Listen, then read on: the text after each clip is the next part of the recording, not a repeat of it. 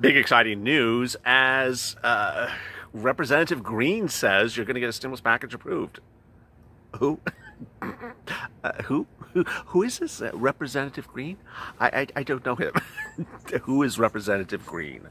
Um, is that the one that was married to Drew Barrymore? I loved him when he was on MTV back in the day. Really, really funny person. Um, really quite great. Uh, you know, uh, you know, I, I, didn't like him when he had the beard when he was doing the stand-up comedy, uh, but I'm very excited that he knows about our stimulus package, considering he's not in the negotiations. He's not. Um, he's not a part of Nancy's caucus. He's in the re- he's in the representative house, uh, but he's not part of her caucus. Uh, he doesn't talk to her. And so it's very interesting that everyone has an opinion about what's going on. But apparently, Representative Green says you're going to get a stimulus package approved this week. is this just like um, Inspector Clouseau of, of the House of Representatives? Very fascinating. Do we believe him? Do we not? And do we knew, even know who the hell he is?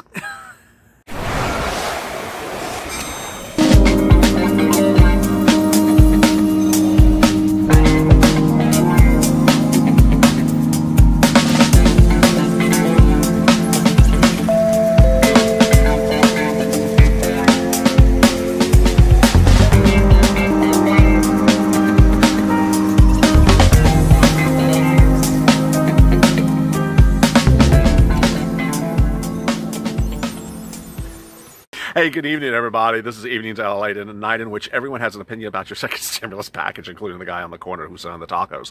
Uh, if you've not gone to the Fun channel, subscribe and also like this video, because if you subscribe, um, you might find someone else that has another opinion about your second stimulus package. And if you like this video, then you might uh, find someone that will uh, add some uh, some chips on the side with those with those tacos. Uh, incredible breaking news tonight that I'll be going over about a lot of twists and turns. First of all, this Representative Green, which is like, who are you? Uh, he's dropped in like a little bit of a sentence and a little bit of an article on guess where Fox News, of course. And he says, hey, you know, apparently the deal's going to get done. I'm like, who are you and why, why are you not like on a billboard somewhere because I, i've never heard of this guy um, do we take his comments for truth and and first of all, we have to figure out exactly who this person is. Um, next of all, um, the president is headlining a CNBC News article tonight, and it's not a good one. the title of the article is "Coronavirus: Trump's coronavirus infection and signs of economic weakness pose re-election challenge." You would think at this point that this person really understands you need to get a second stimulus package done it's indicative of the state in which we are now. Um, then we're going to be turning to a series of comments that really talk about that now is the time for this president to really wake up and understand that stimulus is needed now. Finally, we will be going over really where we are on the stimulus negotiations, what are the stimulus offers, where the numbers could land, and what the Purple Power should do. Coming up after this, of course, is Purple Power 30 minutes from now. Let's get to the breaking details tonight. Representative Green, which is, you know, not one of the representatives I know, um, who's a, a, Republican, and he's in the House of Representatives. That's why he's called a representative. And he's from Tennessee. Uh, apparently has inside track information about what's going on with Steve and Nancy. Um, I'm not quite sure how, uh, because ultimately he doesn't vote on anything. It would be the senators who would have inside track information. But apparently he does. And he says that Steve and Nancy today got very close to the negotiations and that the deal is almost about to be hatched. Uh, you know, is this just someone trying to get himself reelected with some strange insider information? Does he know what Nancy's $12 ice cream is made of? Uh, it's it's a strange quote. And the quote was sort of like dropped in the middle of an article. He was interviewed today for COVID 19 discussions of the president, of course. And he talked about COVID and COVID and COVID. And then he's like, oh, by the way, uh, let me just tell you that Stephen are almost done. Uh, uh, uh, how do you know? Now, ultimately, I got to report it to you because he is a representative, so you expect he's telling you the truth because they're elected officials. They always tell you the truth. Uh, but, you know, now, the thing that I found interesting before you cast him out to the sea with um, Nancy's old hairstyle or current hairstyle or hairstyle the last 20 years is, you know, he drops in there an interesting comment, which is not different than anything I've reported over the last two months. But he says, what's really holding up the negotiations is that there's a lot of unused money from CARES Act 1 that Steve Mnuchin wants to repurpose, and he doesn't want to just let that money sit around because Treasury took it out of Treasury's bank accounts and it's now sitting in agencies that are now shut down because they're no longer operating from CARES Act 1, and he wants to repurpose that money or put it back into Treasury, and Nancy's not fixing that situation. Interesting. Well, maybe he does know something. Um, it's sort of like, you know, the hairdresser uh, who knows the inside information about the celebrity, and then the, you're like, oh, it's just a hairdresser. And then he's like, but did you know? maybe you really do know. So, uh, really quite interesting. This representative says that they're almost about to be done. Okay. Uh, then comes this the CNBC News article minutes ago that says, wait, the president has a real problem. The president tried to avoid two major subject matters over the last two months, did not want them to be defining his reelection, and now they are redefining his election COVID and the economy. He and of which two items he has neither fixed. He has not addressed COVID uh, straight on, and he has not addressed second stimulus straight on. And now both situations are not growing well with him. Greg Valliere, chief U.S. policy strategist for AG Investment, says you can make an increasing good case that the economy is starting to level off, and the labor market shows it.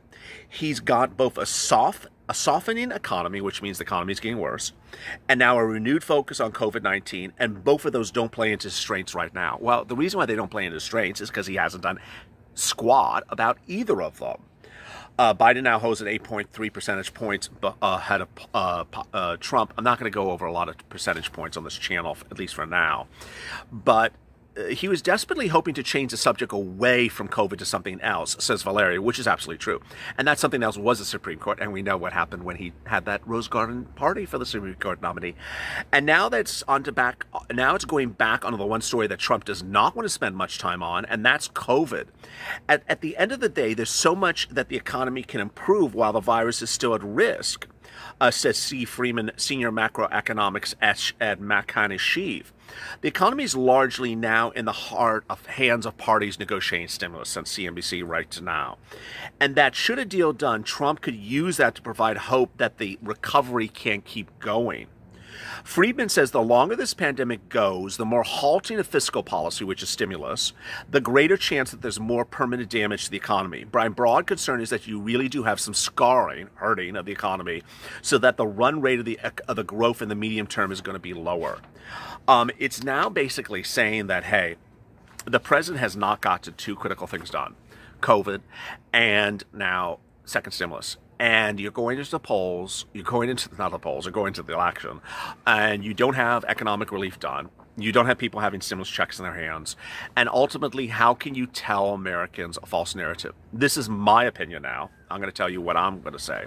And my opinion is the following This president has played a false narrative game with you for the economy for upwards of two months. And the game has been played very um, uh, ineptly by Larry Kudlow and Mark Meadows, who no one really believes either way, that the economy is a V-shaped recovery. We're all doing great. We all have jobs. We're all making a lot of money. We're all, you know, driving Lambos. We're all, you know, getting our hair cut every single day in San Francisco. We're doing really well. We can eat. We can afford twelve dollar ice cream. Ultimately, he may think he can pitch that false narrative, but the people who don't have money are looking at their bank account and said, that's false. I don't have the money. You can say whatever you want to say, sir. I don't have the money. And so my opinion is that false narratives don't work with that. He can do other false narratives like social issues, the police, those type of things, um, how fit Biden is, and all that type of stuff. But when we get to real core issues, which is someone's bank account, they look in the bank account, there's no money. You can't have a president just sit there and says, your economy's completely rebounded. Congratulations, you're doing really well. No, I'm not. I don't see any money in my bank account, sir. And so ultimately, people won't vote for the person because they think that you're not giving them the truth and you haven't given them any money. So as we sit here today, how important is executive orders? Oh, it's incredibly important for executive orders. How important is a stimulus package? Well, you know what? Some people have had really good comments in the last 24 hours. I'm going to go over them right now. One of the most common comments I got was the president should do both executive order and should be doing a deal with Steve and Nancy and get them both done because we need a lot of stuff and we need a lot of stuff right now. The issue at hand is so many people are hurting in so many different ways, and all those people are going to be voting for this president. And we sit here tonight and we talk about a single $1,200 stimulus check. Well, when would we get it? When would we get FPUC? What are the routing times? Let me go over them right now. If there was literally a law today, you could get funds within about 11 days. Okay, that's before you vote in the polling place. It may be after you vote by mail, but it is before you vote in the polling place. Well, we can't have a law today. How soon could we have a law? We could have a law in five days from now. We could have a law in three days from now. So you still could actually physically have a stimulus check in your hand before you go into the polling booth. Absolutely, categorically, yes. You could have a $1,200 check if you're an individual, $2,400 check if you're a married couple, $500 for dependents, $500 for adults. Ultimately, you'll look at that check and you'll say, opinion, this is my opinion. You'll look at that check and say, yeah, thank you for the measly $1,200 check. I've been waiting for this since March or April, and this is not really going to cut it. And you think I'm going to vote for you because you gave me a measly $1,200 check? Well, you and Nancy and Chuck and all those people are going to go because this is not sufficient. This is not a stimulus package. And in fact, I've been watching that guy with that purple shirt, and I know how much you gave to uh, head of the Treasury, head of the Judiciary Department. I know how much in raises you gave to everyone else, and all you gave me was this jackally little $1,200 check when I was entitled to checks for every single month for six months. And I have struggled, or I I'm on SSDI, SSI, Social Security, and Railroad benefits. I didn't get a first stimulus check because I was a dependent. And so this time around, what did you do give to me? You didn't give me a full $1,200 check, you gave me a $500 dependent check. Ultimately, people look at the thing and that's in their hand, they're going to say, um, yeah, thank you for the $1,200 check or thank you for the $500 check, but that's not enough, and I'm not voting for you. And people aren't stupid. The things that come really on the 11th hour is sort of like the mailer that comes in the mail, and you're like, oh, there's a mailer that comes in the mail says vote for me. I, well, I just got it today, and so that's a little tacky. Um, it's sort of like when a check comes in the mail one minute before you vote. It's like, hi, I'm the president, and here's a check. Can you go vote for me? People sort of see that. Now, ultimately, there are other types of things that you may see in a different light. And those are things like FPUC and enhanced unemployment benefits. You know, you know that the president did get you the LWA if you got LWA. You know that Nancy and uh, Nancy did not get you LWA. You know that Democrats did not get you LWA and didn't get you any and, and allowed your FPUC to expire. You'll remember that when you go to vote. So ultimately the president did a double executive order and also did executive order for FPUC or LWA right now. Imagine the impact on that. So as we sit here today, um, when they say he's desperate to change the subject away from COVID and that other subjects of the Supreme Court, I'm sorry, the Supreme Court's not going to get you reelected. That's my opinion. You got to do economic recovery as well. Um, electoral college. The President Trump was able to weather the bad October surprises four years ago, but in 2020 is not 2016. And the, his contraction of COVID 19 comes at the perilous moment for reelection and the race for control of the Senate majority, says Beacon Research in a new memo issued tonight. The biggest problem for Trump is that within day, is that with the days dwindling before the election, election day, the focus on COVID and himself has become a huge opportunity cost when he was looking to change the dynamics of the race. The way he could have changed the dynamics of the race and the day may be shut, the door may be shut on him by this point, is that he could have done incredibly comprehensive executive orders for stimulus checks and got them out in a way that helps him. Now it's not going to help him. It's too late for him because the effects, uh, the subject matter has switched. But our focus is us. Our focus is us. And ultimately, my focus is you getting money. And so the purple power really needs to step up. It needs to step up. I didn't do too much purple power in this video because we have purple power coming up right after this. But obviously, there's two things that you really need to be pushing. One, the president. He needs to do executive order. Every single comment of every single video of four hours of programming on this channel every day is do the executive order. What's going on? Just get it done. Just do the executive order. Push it, Meadows, Mnuchin, all those people need executive order. They need to understand that you're not going to vote for someone if he doesn't get you the money. Second, you need to really push with seats for stimulus. I don't know, but I have a feeling that these Democrats who put a thing to a vote last week and are so proud of, you know, the, the bill that passed the House last week that's dead now, uh, are going to go back to their jurisdiction and say, you know, I did a wonderful thing last week. I got I got a bill that was very partisan, uh, that no one really wants, that's very bloated, passed by the House. you know, uh, Earth to Mars, that's not a bill that anyone wanted. So we need to keep that push as well, the Purple Power, on social media for seats for stimulus and say, hey, hey, um, get a bipartisan resolution. Doing a bad bill is not an achievement. If you don't give us stimulus, we're taking your seats. And ultimately, the narrative changes so often by day to day that it's almost too hard now to say support the problem solvers bill because the negotiations have gone beyond that. So now the discussion is get it done. Just get it done. Get it friggin' done because ultimately it doesn't seem like it's happening. I was going to go over that and start with that, but let me do it now. Steve Mnuchin and Nancy Pelosi's negotiations continued yesterday, continue today. They're not spending an enormous amount of time. They're spending about 16 minutes a day, yeah, 16 minutes a day uh, on the phone. They're not revising their numbers too much. To, well, today they did not revise their numbers at all. Um, so I don't know why this representative Green uh, said that they're getting closer. No, they actually didn't change their numbers today. They actually confirmed. All they did was go over the nuances and the descriptions and the terms of the conditions. The holdouts remain FPC, $600 a week. She doesn't want to move on it. Mnuchin, $400 a week. He doesn't want to move on it.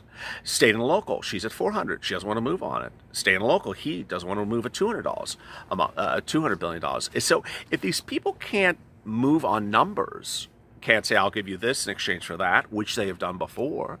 Now they're not doing it.